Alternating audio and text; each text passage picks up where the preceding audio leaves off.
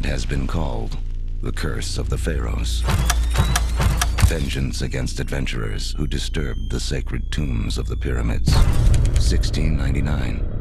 A Polish ship carrying two mummies is haunted by spectral visions and brutal storms.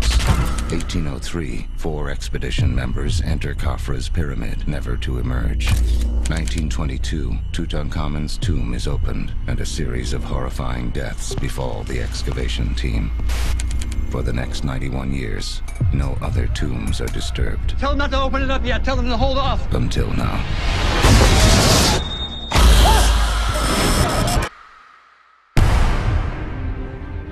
So what happened to him? Toxic air. Usually found in caves, and tombs, structures that have been sealed off. As you can see, the pyramid behind me has only three sides, not four like the Giza pyramids.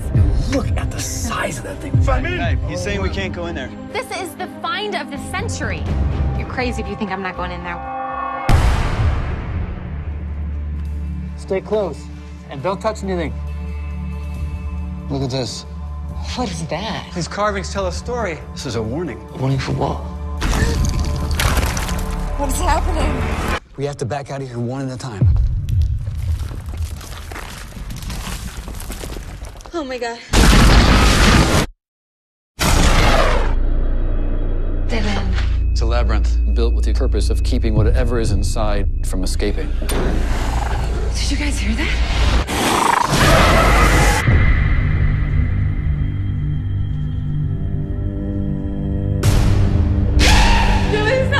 happening?